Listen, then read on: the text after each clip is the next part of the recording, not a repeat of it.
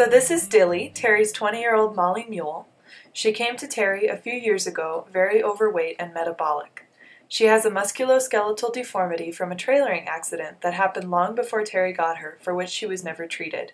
Her teeth and mouth were out of balance, her feet had been neglected, and she is recovering from a drop to top line and muscle atrophy behind her scapula from being ridden with an ill-fitting saddle. We are using her so we can show how to determine a correct saddle fit to how she could be not how she is, because she still has room to improve. Muscle atrophy behind the scapula is the most common problem we find. This wire is coming off with dips in it where Dilly is atrophied. This is not good and is due to saddles in the past being too narrow for her and physically changing her musculature to conform into the shape of the saddle tree.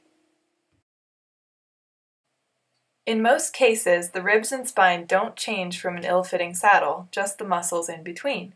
To evaluate whether the saddle will allow room for how the back could be if your horse has atrophy or dishing in the wither area, you smooth the dips out of the wire to simulate correct musculature and then lay it into the saddle to determine if your bar angle is wide enough to give room for the animal's back to fill out.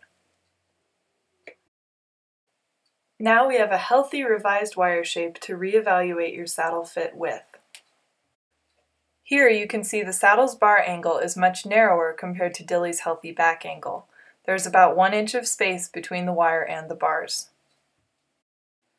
Here, Terry shows our goal, which is to have the bars 100% in contact with the horse's back as it should be for comfort and freedom of movement.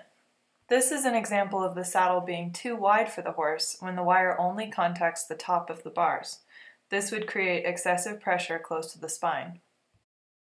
Here, the wire only contacts the bottom of the bars, showing that the saddle is too narrow, causing excessive pressure in the shoulder area. Another common problem we see is horses with a dropped top line. This is caused by poor rider positioning, saddles pinching and or bridging, feet and or teeth out of balance, and weak muscles. Because of Dilly's dropped top line, there is a half inch of bridging, which creates excessive pressure points on the front and back of the tree. This is very uncomfortable and needs to be shimmed in order to correct for the saddle's uneven contact while allowing for the muscles to regenerate. In a separate video, we will discuss how to do corrective saddle fitting with our unique wood felt Remuda saddle pad. If you have any questions about this process, please feel free to contact us.